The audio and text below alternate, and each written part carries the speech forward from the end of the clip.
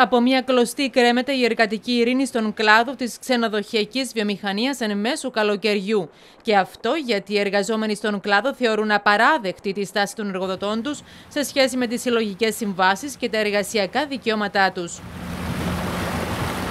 Όλα θα κρυθούν την Τετάρτη στη σύσκεψη στο Υπουργείο Εργασίας, αφού οι εργαζόμενοι δηλώνουν αποφασισμένοι να διεκδικήσουν μέχρι τέλους τα δικαιώματά τους ακόμη και με απεργίε την εβδομάδα του 15 Αυγούστου. Είναι βασικό αίτημα ότι πρέπει να βρεθεί τρόπος εκείνο το οποίο συμφωνείται να είναι υπόχρεος ο κάθε ένα να το εφαρμόζει και ιδίως το θέμα των μήνυμων μισών που συμφωνούνται βάσει της συλλογικής σύμβασης. Αν αναλογιστεί κανεί το πώς επήγε η οικονομία. Το 2013 τα είχαν παραχωρήσει λόγω της οικονομικής ε, κρίσης η οποία υπήρχε. Αποδείχτηκε όμως ότι στον κλάδο των ξενοδοχείων δεν επηρεαστήκαν όπως επηρεάστηκε η υπόλοιπη οικονομία.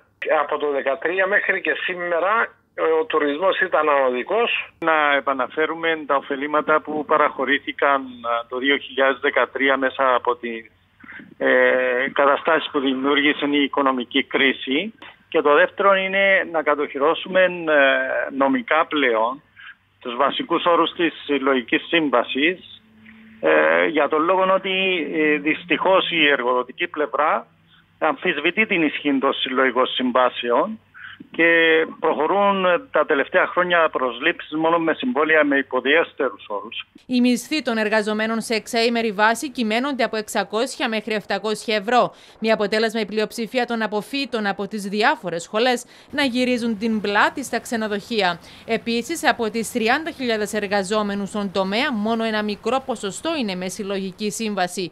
Οι υπόλοιποι εργοδοτούνται με συμβόλαια φτώχειας έναν περίπου 25 με 30% είναι με τη συλλογική σύμβαση.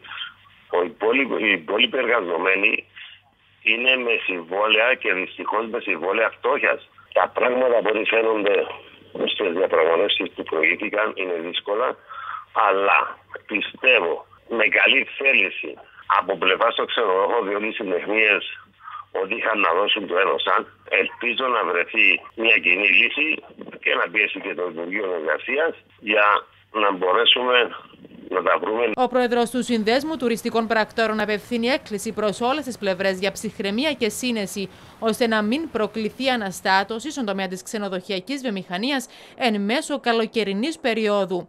Σαν σύνδεσμο, πιστεύουμε ότι μεσούσει της καλοκαιρινής περίοδου όλοι μας πρέπει να είμαστε πάρα πολύ προσεκτικοί. Η περίοδος που διανύουμε έχει πάρα πολλές δυσκολίες και προκλήσεις, οπότε θα καλούσαμε όλους τους φορείς και τα αρμόδια υπουργεία και των εργατικών κόσμων και τις επιχειρήσεις να είναι πολύ προσεκτικές και μια εργατική ειρήνη είναι αυτό που χρειάζεται ο τόπος. Ο τουρισμός είναι το μέλλον του τόπου. Το θέμα των συλλογικών συμβάσεων των εργαζομένων συζητήθηκε ήδη σε αρκετές συναντήσεις και έχει διαφανεί τεράστιο χάσμα ανάμεσα στα θέλω των εργαζομένων και τα μπορώ των ξενοδόχων.